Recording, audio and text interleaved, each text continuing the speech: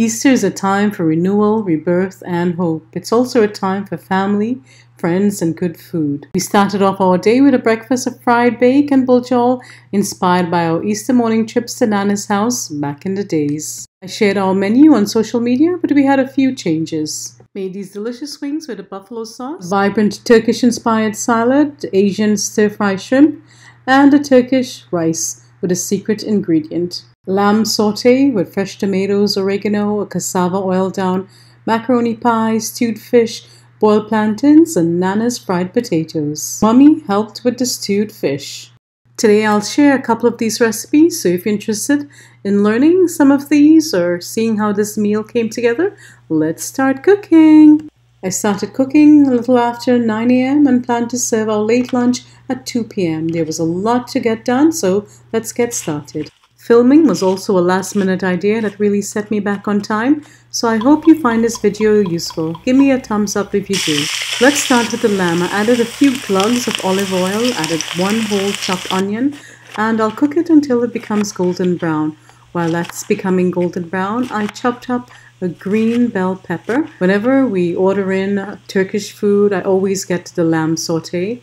It's really delicious, and this recipe is inspired by all those lamb sautés I ate over the years. And I do recall that the bell peppers were green and were cut this small, so that's what I'm doing right now. Next, I'll add in about two pounds of chopped tomatoes. I'll give it a stir. You can definitely add more tomatoes. My husband did say that he thinks that the lamb saute had more tomatoes, so please feel free to add more. This is all the tomatoes I had. Next I added about 12 cloves of garlic chopped. Another good stir and then I added in some chopped oregano. You know I like growing my own herbs but oregano is something that hasn't been successful um, growing inside my house. I'll add in the fresh oregano as well as the dried oregano. If you don't have fresh oregano, you can certainly use only dried oregano. I've added about 4 tablespoons of dried oregano to the pot. A little disclaimer, this is not a traditional lamb saute recipe or authentic. I'm just creating this from memory. This is just my version and it's really delicious, so trust me on this. I cooked it for about 5 to 7 minutes and now that the tomatoes are tender and everything has melded together, I'll add in the lamb. This is about three and a half pounds of lamb chops that I cut into small pieces I seasoned it with 2 tablespoons of green seasoning and 2 tablespoons of minced garlic. If you need a recipe for green seasoning, I'll leave the link above and below. And if you think it's too much trouble to make green seasoning just to use 2 tablespoons, then you can certainly eliminate it. Once all those ingredients are properly combined, we'll cover it, lower the heat, and allow it to cook for about 30 minutes, checking every 10 minutes.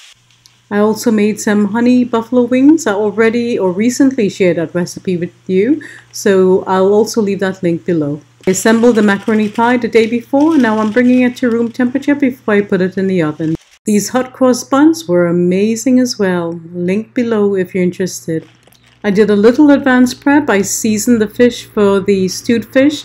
This is about 5 pounds of fish that cost 100 US, and I also seasoned the shrimp ahead. Seafood is very expensive around Easter time. It's time to check on the lamb and now I'll add the chopped bell peppers. I usually add lemon juice as well to the lamb but today I, I did not. In the printable recipe I'll add all the variations. Hi Bixby, show me the timer please. 20 minutes left on the timer. So it's been cooking about 40 minutes. cover and cook another 20 minutes. Now the major part of the lamb is done and that's under control. I'll start boiling the potatoes for Nana's fried potatoes. This recipe only requires one ingredient to cook, so stay tuned for that. Set the timer for 30 minutes, please. Timer 03 for 30 minutes, starting now. Boil until tender but still firm and not falling apart. Once the dish for the macaroni pie has come to room temperature, we'll place the macaroni pie in the oven. I use a good quality cheddar cheese for the inside of the pie and top it with mozzarella.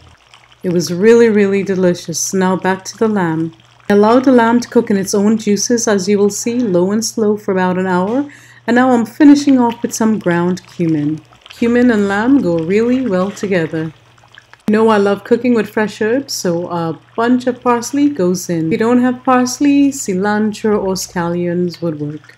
My mom is giving it its final taste test and she says that it will go great with my paratha. She and my sister are big fans of my paratha roti. We'll take a look there. Delicious with some roti. Paratha. You okay? Now that we've cleared the lamb away and a burner is available, I'll start on the rice. Washing about 5 cups of Turkish rice, you will always find a link to the ingredients I use on my blog under the recipe. A couple of tablespoons of butter and I'm using my expensive French butter today because it's a special occasion. Add one onion.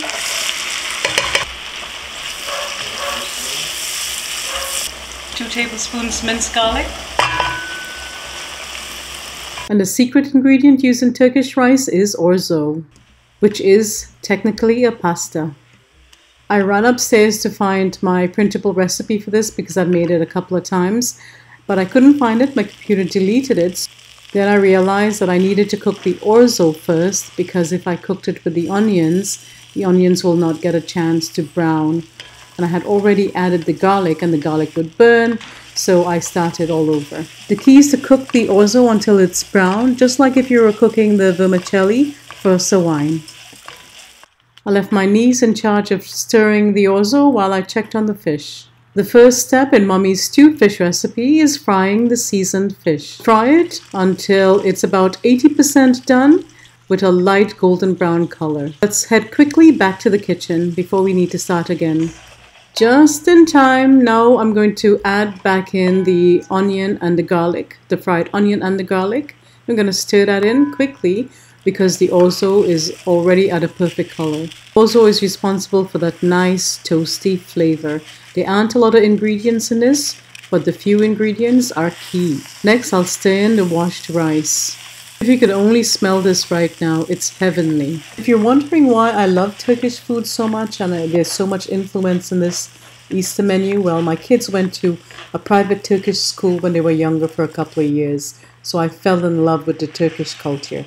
Next, I'll add chicken stock, and I usually add about 1.5 cups of stock for every cup of rice. You can use veggie stock or water in place of the chicken stock to keep it vegetarian.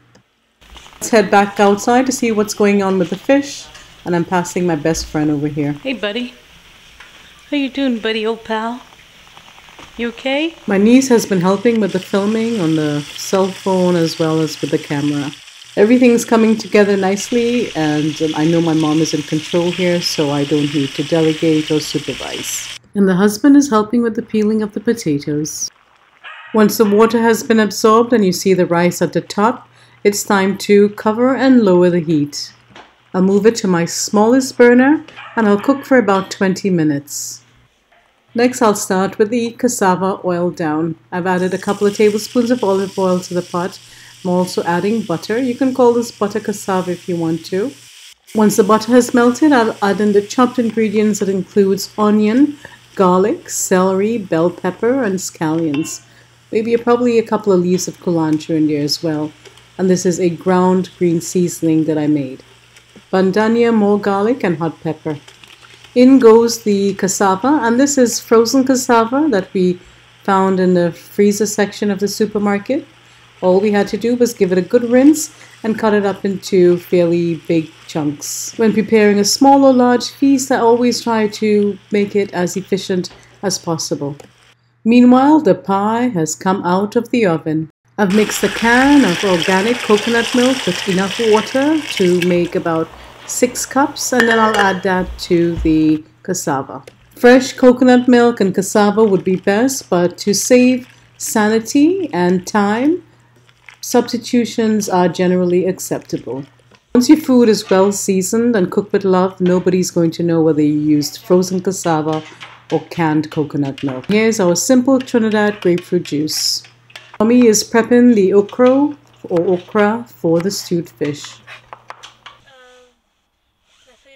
One cup ketchup, about three tablespoons green seasoning, three tablespoons minced garlic, One pound of okra, two large tomatoes, and one large onion and hot pepper. Then you're going to throw this into it so you don't get a big splash up. Okay. Mm-hmm. The potatoes bananas, fried potatoes have been peeled and sliced, not too thin because it will break up in the pot. Then heat a little bit of butter in your frying pan and add the sliced potatoes and cook it or fry it until both sides are golden brown, crisp, and delicious. Nana used that orange margarine that they use in Trinidad. It slips my mind at the moment. We've added oil to the pot and about a half cup of brown sugar. We're going to allow it to froth, bubble, caramelize, expand, and darken. It's smoking, so we need to lower the heat. This is essentially browning being made.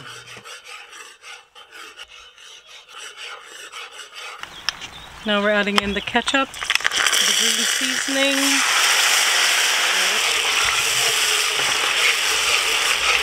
Some more water is going in the pot. Creating a nice flavorful base. Smells delicious. I'm gonna add in the tomato, the onion, the okra, and the hot pepper.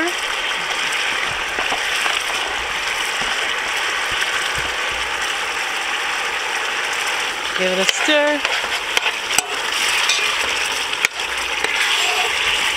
This is a brown stew fish. This is like the Jamaican brown stew fish. And this is a Trinidadian stew fish. All the islands have their similarities. Allow that to cook for a few minutes and then we'll add in the fish. The potatoes are nice and golden brown. Smells amazing. It's going to be absolutely delicious. We're going back outside to check on the fish. Salt to taste. Black pepper. For water there. And that's it. In goes one can of coconut milk. nice. I'm gonna take a taste. This one is not fitting properly here, so I'm gonna to give it a taste. So here's the oil down. It's really melted nicely. It's creamy, dreamy, smooth, rich, absolutely fantastic. Give it a taste. Oh, amazing. Just gonna add a little bit of salt and it's done. We're adding the head first. Why? Because I don't want it mixed up with, um, to be on top now. Okay.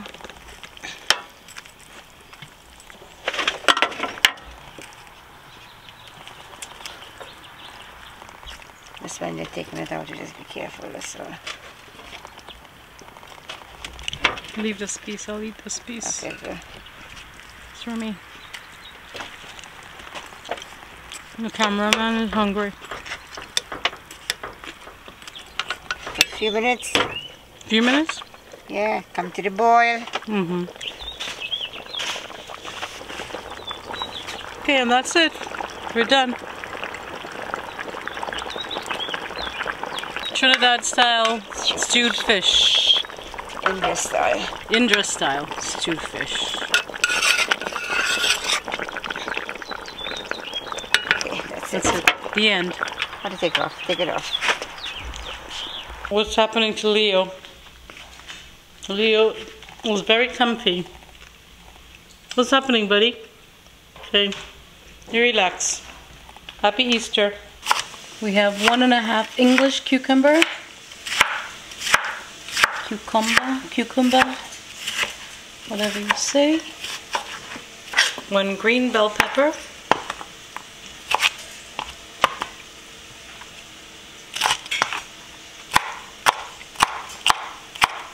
Okay, I'll continue cutting the bell pepper. Half red onion because we ran out of red onion. cherry tomato.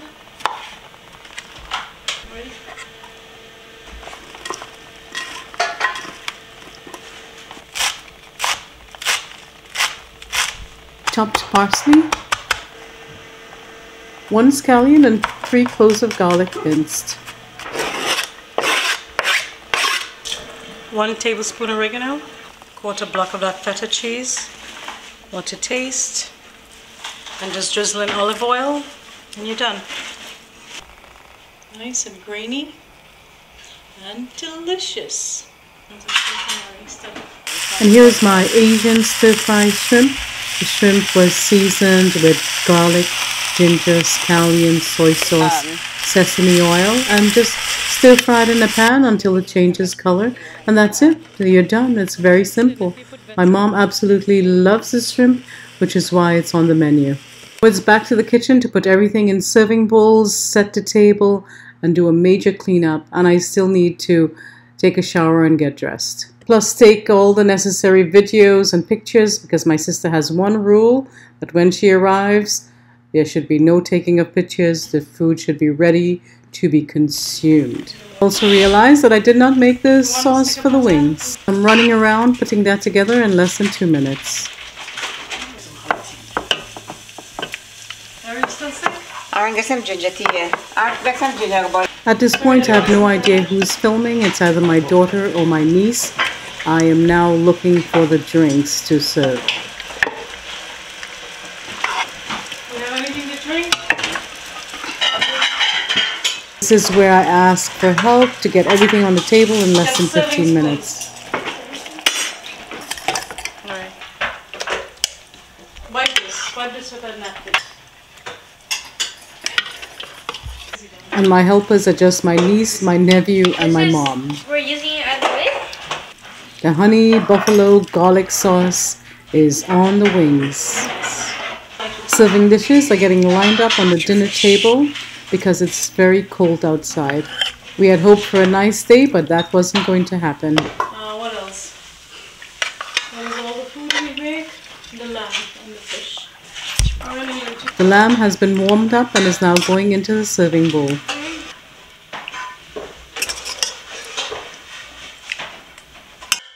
Hot cross buns, Nana's fried potatoes, the boiled plantains are ready, the stewed fish is on the table, the lamb is on the table, the oil down is on the table, the macaroni pie that almost got burned is on the table but still very delicious, the callaloo, our delicious vibrant salad. I just need to get the dressing in there. The wings have made it to the table as well. The shrimp looks amazing, and the rice is being served in the same pot it was cooked in. And that's all there was to it, my sweet friends. Not as hectic or chaotic as the Thanksgiving prep video. If you haven't seen that video yet, please go and check it out. I'll leave the link below and above. Couldn't wait to dig in and taste all the flavors that had been simmering for hours. As we enjoyed our Easter feast, we couldn't help but feel grateful for the opportunity to come together as a family and share in this special day. If you enjoyed being in the kitchen with us or learned something new, please give us a big thumbs up, leave a lovely comment below, share this video with your family and friends, and subscribe if you wish to see more. Until next time, stay safe, be well, cook, share, and love. Bye bye. Esther daddy and have mom married. I married Friday and they got married on the Sunday. Oh,